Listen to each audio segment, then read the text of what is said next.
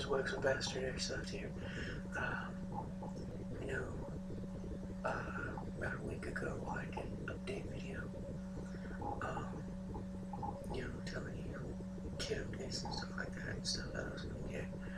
Well, uh, and that I was gonna do a Ranger Kid, Well, scratch all that, scratch it all out. Because I'm gonna do a different kit. I'm gonna do a kid that, uh, none of the other well-known airsofters have attempted to do. Um, and this is going to be a kit based off of an actual Navy SEAL. Um, I'm going to do a Michael Monsoor kit with the uh, ACU and everything like that. So here's what I have on my kit list so far. And uh, any of you have anything to add, please leave in the comment section below.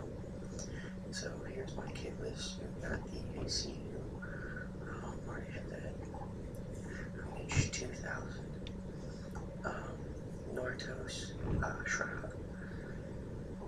Uh, MBSS uh, plate carrier with Paca soft body armor underneath. Um, King, I think they're King something. They're King something pads. Uh, Safariland 6004 uh, droplet holster for the SIG 226. And uh, there are pictures of in the soul pack, but I think I'm going to leave the soul pack out of this kit and just go with the straight up uh, MBSS. And, uh, you know, various pouches on it. Uh, don't expect me to get the uh, saw because uh, I looked that up and I floor for any money. So uh, there has been pictures of him with his Mark 18, so I think I'm going to go with that. Uh, Mark 18 still on my list. Gonna, um, yeah, oh, and Oakley glasses, of course, because he's always wearing those. Uh, Z Sword contacts, which, uh, all this stuff. Let's see. Let's see what our grand total would be plugging it into the calculator. So we said, uh, we said MESS, those were for like 47 bucks. So we got 47. Okay, plus the MICH 2033, plus the Norto Shroud, which is 21, plus the Mark 18, which is 150, plus the Z Sword, which is 67. So uh, this kit's coming out to be about a $318 kit, and, uh, and that's just all the stuff that I'm getting, you know, because I already have several stuff, um, several things, several stuff, make myself sound like a retard.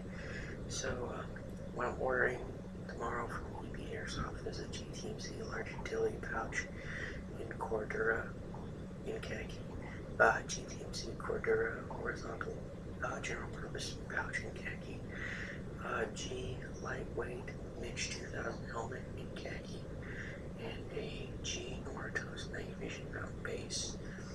Um, so yeah, um, any questions or comments, please leave them in the comment section below, and uh, any suggestions for like Michael Monsoor kid, um, please leave them in the comment section below.